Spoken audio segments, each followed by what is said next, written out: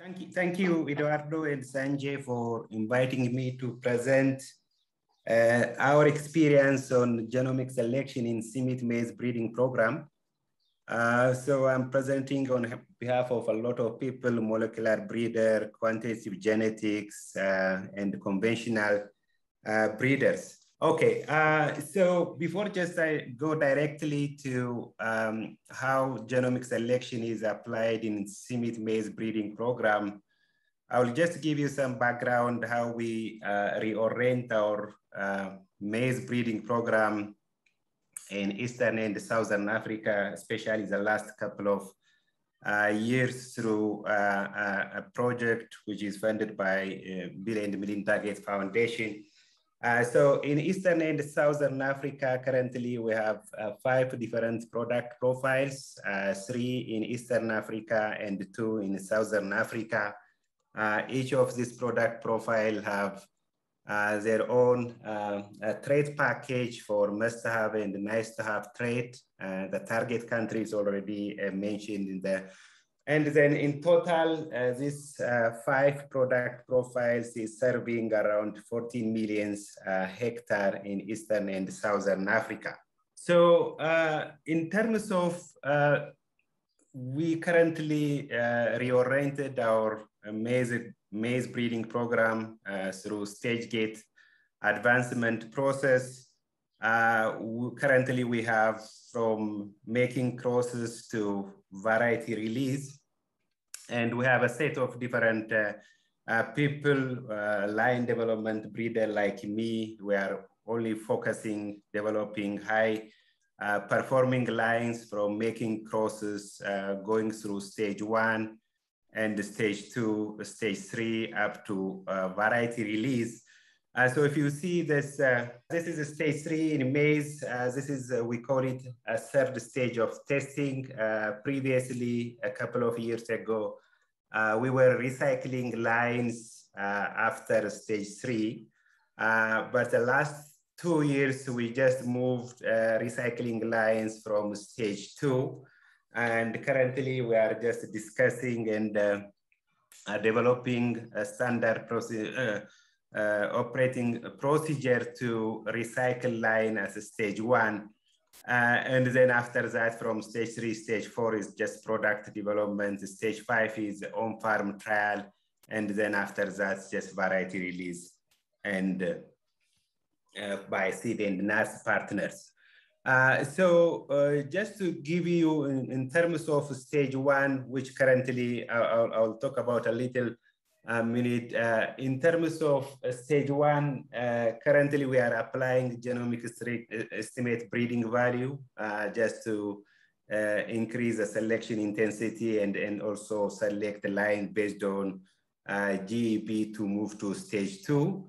Uh, from stage two to stage three, uh, this is uh, in addition to uh, the BLUP, we also use GCA BLUP uh, to select lines uh, which move for recycling. And from stage three to stage four, this is a team decision. we have the whole team in the maize product development team, we sat together and then advance which lines move from stage three to stage four and then from stage four to uh, stage five. Uh, so this is uh, some of the uh, trade package and advancement threshold for each product profile. This is just an example. Uh, so this is a, a basic trade, uh, a must have and nice to have trade and what is our product target and what is a, a market priority hybrid. So we identified for each product profile, what is the dominant commercial hybrid, and then our advancement is based on uh, that uh, particular commercial hybrid uh, because our intention is to develop a hybrid which is to replace the current commercial dominant hybrid.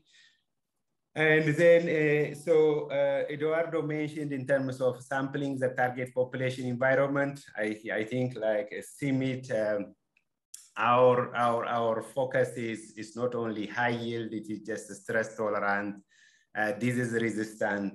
So in Africa, we have this now maize lethal necrosis, which is one of the uh, virus diseases which affect maize production, Turcicum leaf blight, and drought, and then also optimum. So our hybrid is they should be stress tolerant at the same time if there is adequate rainfall and the fertilizer should be also input responsive. So um, uh, the objective is very difficult uh, just to, to bring together all this into, into a single hybrid, but we have uh, a lot of uh, uh, several uh, hybrid which is currently commercialized in Eastern and Southern Africa. so this is just an example of the breeding scheme in, in, in, in, in one of our product profile. Uh, so we we have two uh.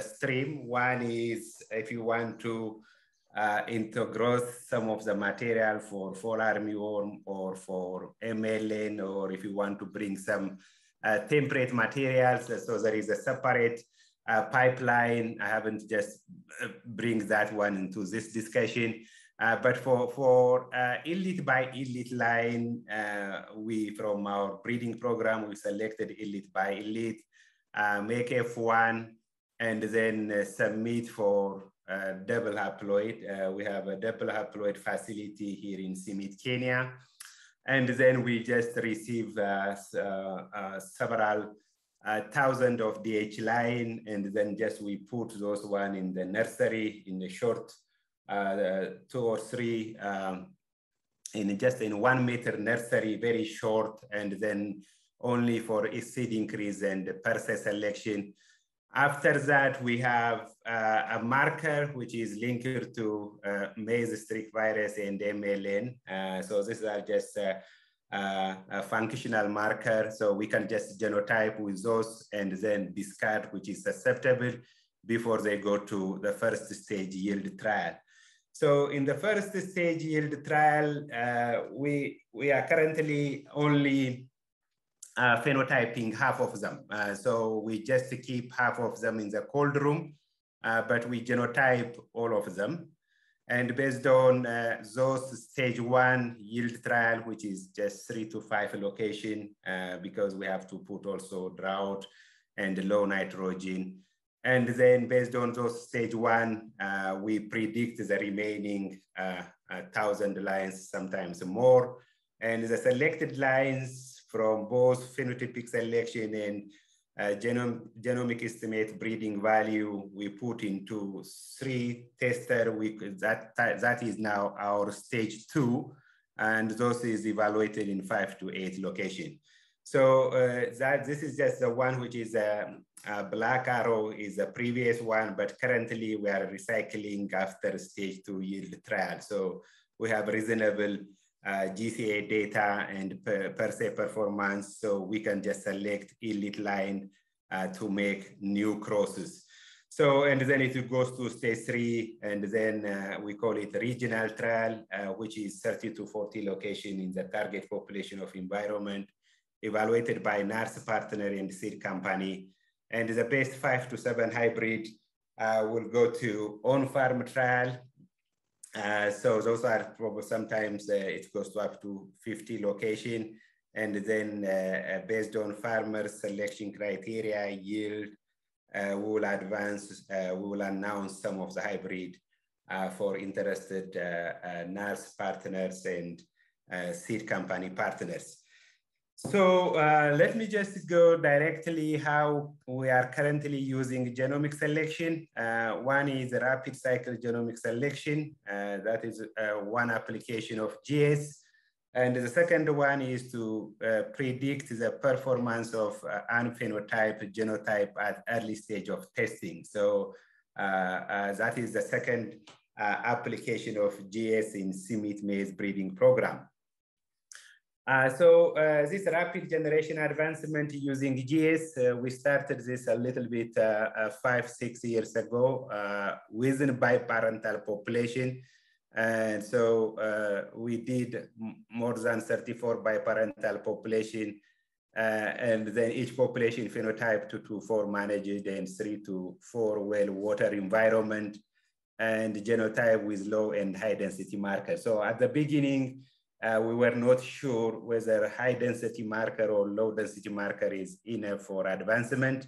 And we uh, did uh, uh, uh genetic gain study. So this is a, a, a workflow. I think so. This one is just previously, probably we can just a little bit modify. But in general, you select your two elite material in maize, in this case with an heterotic group, and then uh, we screened uh, those uh, line A and line B for polymorph polymorphism. And then F1, uh, just we want to make sure that all F1 come from A across A and B. So we use a quality control genotyping. And here, just F2 drive and F3, this is a time we just genotype uh, with uh, a high density marker. Uh, currently, we can do that with a medium density marker. And then at the same times, we make this one a tester. So this is the initial plan. Uh, uh, so this one is just currently we are just modifying. I'll, I'll show you later. Uh, but at that time, we just make a test across and evaluate those one one across location and use those one as a training set and then uh, uh, develop the genetic estimate breeding value for each line and then based on this, uh, you have to advance in cycle one. And then from cycle one to go to cycle two, uh, this is uh, one which is um, uh, very critical in terms of the time from leaf sampling up to pollination. So you have to have a good service provider to give you the marker data within a short period of time and should be analyzed by quantitative genetics or biometrician and get the uh, GEB uh, for making uh, the crosses. And then from cycle to the same at cycle three. So as the initial stage, so we just just should to make sure that we advance it also through pedigree breeding program from this cycle zero to make sure that is there any uh, difference between phenotypic selection and genotypic, genotypic, genet, uh, estimate breeding value. And then uh, at cycle three, so this is a stage uh, we submitted for uh, double haploid uh, or line extraction. So we did a genetic gain study. so this is just simply to show you those, the training set has to be phenotype in the target population of environment if it is a drought, you have to evaluate under drought. If it is a disease, you have to also evaluate under disease and also under optima. So this is just uh, some of the results we got from eight uh, biparental population. Uh, you can see cycle zero is a bar, which is a black one, cycle one, cycle two, cycle three. So overall, this is under drought. Uh, so this is grain yield uh, in, in the y-axis, and the x-axis is the population. And you can see the overall gain is 70 kilogram per hectare per year. Uh, so this is under drought. Uh, and just if you compare this uh, with the conventional breeding in Africa under drought is around 32 kilogram per hectare per year. Uh, so you can see it's um, just rapid cycling is a genomic selection almost uh, two times compared to the conventional uh, uh, line development program. So because in CIMMYT, uh, our focus is to, to develop products. So what we did is now from those uh, lines, uh, we from cycle three, we submitted for DH, and we develop several lines and make a hybrid. Uh, you can see that under, under optimum, um, the top five hybrids developed through rapid cycle genomic selection compared to the commercial check and the parent. You can see in all cases, the yield advantage uh, over the commercial check is from uh, 8.7 to 20%. Uh, and then uh, of course for compared to the parent it is high.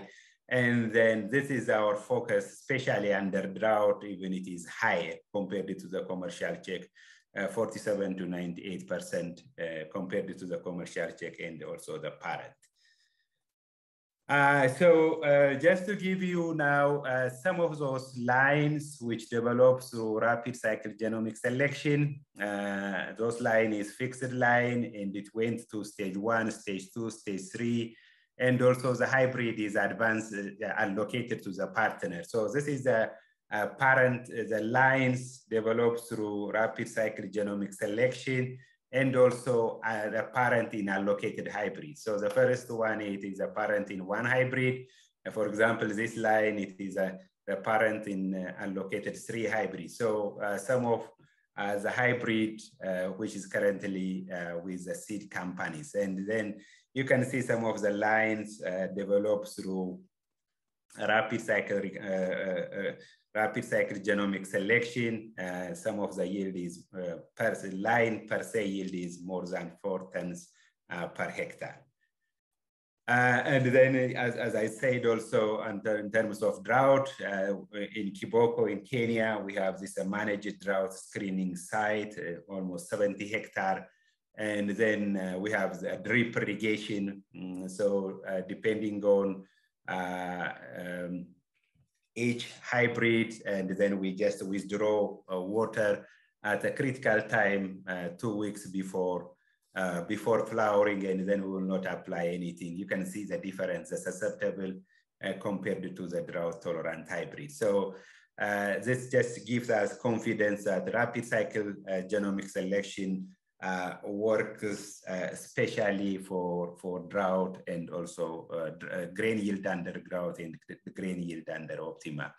So the second part of um, genomic selection uh, we have been using the last five years is uh, because we are um, generating several DH line, we can't phenotype all of them under stage one to stage four. So what we have been doing is uh, we only uh, uh, select representative of DH line from a particular set population and genotype all of them, sorry. Uh, so, and then use uh, those uh, phenotype as a training set to predict the remaining one. So if you see here, this is a training as a testing set. So you can see uh, the one in the red is a testing set. Those are we selected and a phenotype in the field. The one in the uh, black dots, those ones are training set. So you can see uh, from uh, the training set and testing set is overlapping. So that's why the prediction accuracy is 0.84 under optimum and 0.92 under drought. Uh, and then another thing is uh, we also uh, just try to see if we just incorporate uh, pedigree. Uh, uh, Eduardo mentioned yesterday. so we also include that one in addition to marker, we also put the pedigree. You can see if you use, this is just the grain yield of the predicted and then this is observed. The correlation between observed and predicted based on GBLUP is uh, 0.85. If you increase, if you also add uh, uh, the pedigree relationship, you can slightly increase the prediction accuracy from 0.85 to 0.89. This is under optimum for grain yield.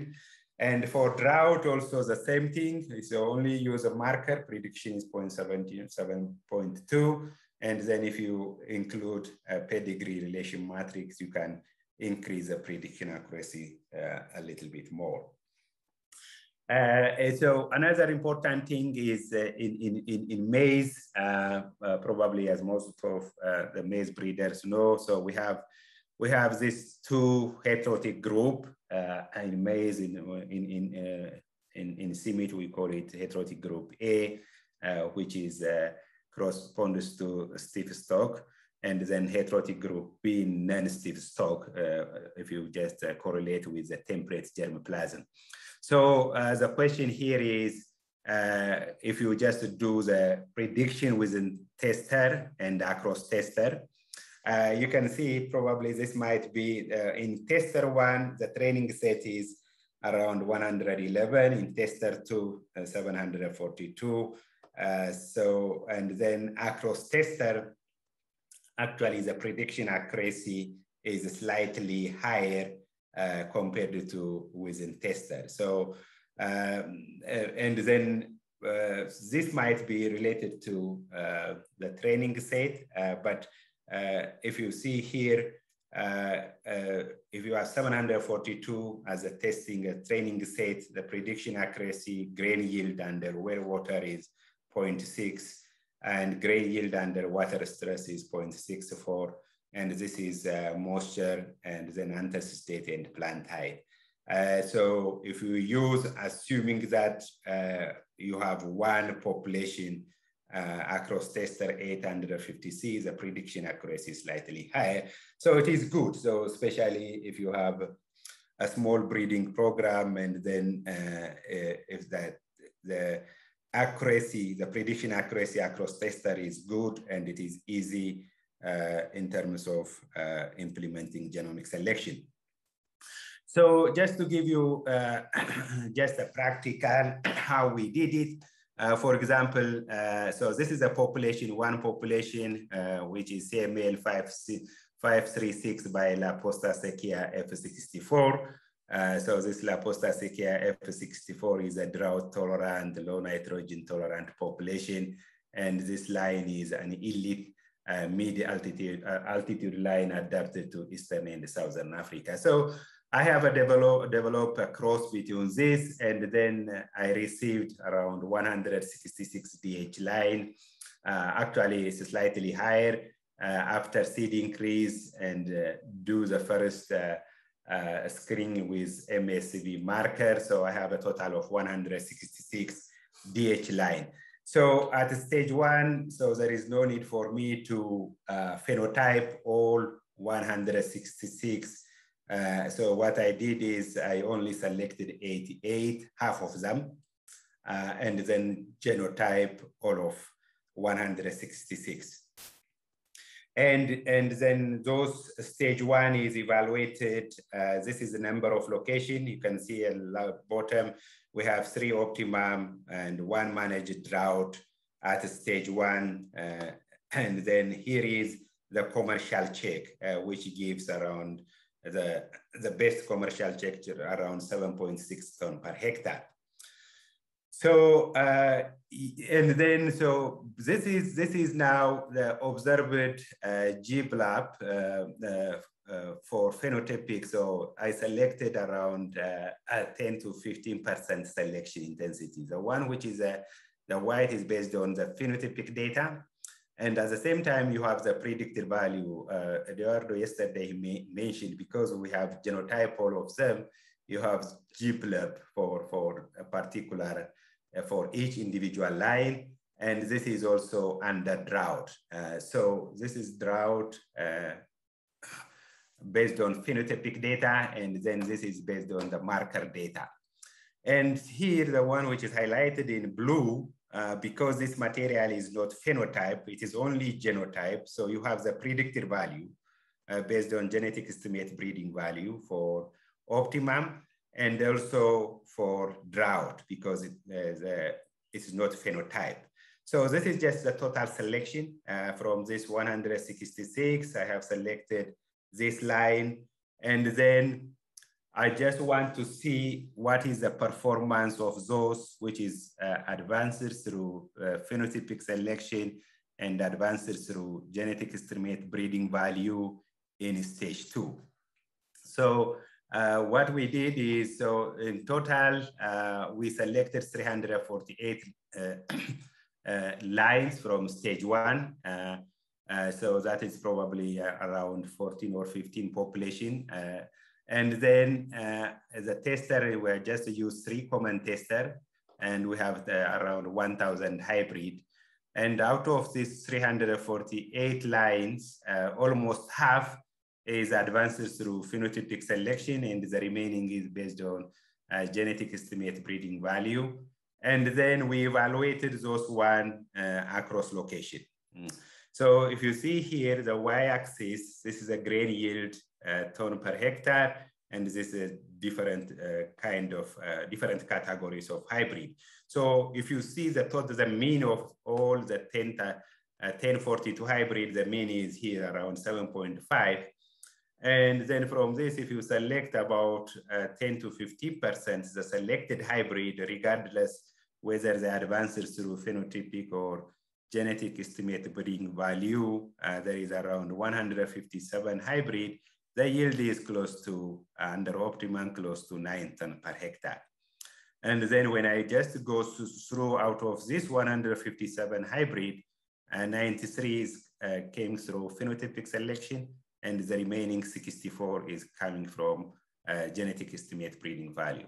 So here, uh, just simply what I did is I just considered this uh, 1042 as one group of hybrid and selected the top uh, 10 to 15%, and then see uh, out of this, which is coming from phenotypic and genetic estimate breeding value. And the same true for drought. So you can see it's just slightly uh, a change here. Uh, most of 93 uh, hybrid coming through phenotypic selection and 64 is from uh, genetic estimate breeding value.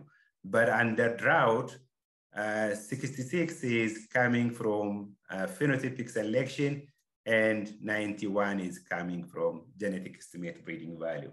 I think that is probably what Eduardo said. Um, if the heritability is low, uh, GBLUP is more in terms of uh, selection accuracy. So that might be uh, the reason uh, under drought because we have only one location and the heritability is low. So probably selection based on GBLUP is higher than selection based on uh, uh, BLUP. So, uh, so this, from this study is we can just conclude that genetic estimate, if, if you select lines based on GEP, it is the same as uh, selecting through phenotypic selection. And the advantage here is the cost ratio. so the cost ratio is you can just uh, save 32% of the total cost uh, using genetic estimate breeding value because you, you don't need to uh, phenotype across location. And the cost of genotyping is slightly is, is low compared to uh, the cost of phenotyping. Uh, and then just, just if you go uh, just for to show you just uh, in, in one population, so this is the one I just I showed you. So this is a hybrid. So this is a commercial check, and this is a hybrid under drought. You can see some of them are coming through phenotypic selection, some are from genetic estimate breeding value, and this is a yield increase. The same for drought. So uh, this just gives us confidence that you can just use uh, genomic, genomic value, genomic estimate breeding value to, to uh, uh estimate uh, the breeding value of untested new lines. Um, and then, so that one is just within. So what we did is now, because we started this work in 2017, and now we just want to see what about prediction across years. So that is one of, uh, so um, we have, uh, uh, in 2017, we have 923 lines, which is genotype and phenotype. In 2018, 1,400, in 2019, 722. And all of them are uh, genotype with uh, uh, medium density markers. And we have phenotypic under optimum and drought. So our just uh, uh, our question was now: Is it possible just to predict uh, using a previous year data and then predicting the next year data? So that is uh, our question. So um, we use different scenario. One is just using the 2017 data and predict the 2018 or 2019 data. Uh, the second scenario is uh, using 2017 and 18 uh, together and predicting uh, the 2019 data. And also we uh, did, in addition to that, what about if you convert 5% of the prediction set to the training set? so just so that you can just increase that the connectivity uh, among the training and testing set. So this is, this is the data, this, this is a, uh, genet, genotype uh, um, relation matrix. Uh, you can see the 2017 uh, lines in the red, 2008 is in blue, and 2009. So from uh, this uh, genotypic uh, relation matrix, you can see there is some relation among uh, the three years. So that means you can just predict a little bit better. And so this is a, phenotypic distribution for the 2017 uh, 2000, uh, the 2017, 2018, and 2019 data, uh, grain yield under well water, and grain yield under drought, uh, state, and plant height. Uh, so he, here is a result. So if you if you use uh, a 2017 uh, as a training set, and then predicting the 2018 uh, as a testing set, you can see for grain yield, this is for grain yield. So the prediction you can see here is 2017, 2018, and if you're using one year 2017 data to predict 2019, and this is 2018, 2019, you can see the prediction accuracy for grain yield uh, is relatively low. Uh, it is around, okay, around, uh, here is around two point something and this is for drought. The drought is slightly better. But if you just convert 10% uh, from a testing set, that means from the 2018 data, only uh, moving 10% of the material as your training set, the prediction accuracy is significantly increased in all cases. And if you increase, if you just use 30%, the prediction accuracy significantly increased in all cases. So what this tells us is uh, there should be a little bit, at least a, a certain point of connectivity between your uh, training set and the prediction set. So in other words, instead of phenotyping 15% of your population, you can phenotype either 10% and 13% each year. And so that, that will just be useful for to update your uh, training set. And then uh, another one is what we did also, we used the 2017 and 2018 data and predict the 2019 data. You can see the grain yield. So using two-year data, you can predict the third-year data. The prediction accuracy is around 0.31 uh, for grain yield under well water and 0.32 under drought. And at the same time, if you even if you convert uh, uh, 10%, 15%, the prediction is accuracy is increased. So even using this prediction accuracy 0.32, 0.31 is, is, is very good. So you can just use the previous two years data and you can predict the third year data uh, without doing any phenotyping. Uh, so um, this year in 2021, uh, what we are currently is doing is just uh, a sparse design uh, for genomic selection. Uh, so currently we are doing that. for example, I have here 16 population from population one to population six. This is the number of line genotype in each population. and this is the number of DH line phenotype. What I did here is actually I took only 30% from, because from the previous result, uh, we said if you increase, if you only use 30% uh, from prediction set to training set, the prediction accuracy is high. So what I did here is uh, I just only use 30% of uh, to 200 line. So currently uh, I am evaluating in the field uh, 894 uh, uh, individual lines as, as a test cross. Uh, but I have genotype around 2,685 lines. And then uh, we also did is a sparse phenotyping uh, currently. Initially, uh, normally what I do is two optimum, one rep, no, no, two rep at, at, at one side. but what we currently we did is, okay, uh, with the same number of plot, uh, which is uh, for two sides, uh, two, uh, two, two, two optimum side, I need 3,576 plot. But what we did here, here, okay, can we just do, instead of uh, phenotyping at two sites, can we just phenotype at three sites, but the number of plot is the same. So we just use some a sparse phenotyping. So in, in, in sites one and two, we just use this 447. Uh, so this is uh, 447 in all the site. And the remaining 447 uh, is divided into three sites. So we just use this design and currently uh, the trials in the field, I think we will get the result in the coming months or two.